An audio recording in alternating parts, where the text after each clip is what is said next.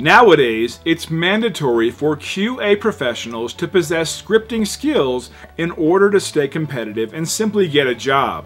A manual testing approach is not enough for a modern tester. You need more than that. Scripting is necessary to use with any test automation tools, and without them, you're not going to go far in your career or be able to help your QA teams to be efficient. QA professionals must have basic programming knowledge and be familiar with object-oriented programming in order to keep up with the latest trends such as DevOps. QA Mentor has created a highly effective and professionally designed e-learning course that will give you all of the knowledge required to start your automation career. Since you don't need to become a developer, you don't need to study all Java topics. Java for QA e-learning course will only provide what is necessary for you to become a test automation engineer, something that is in very high demand right now.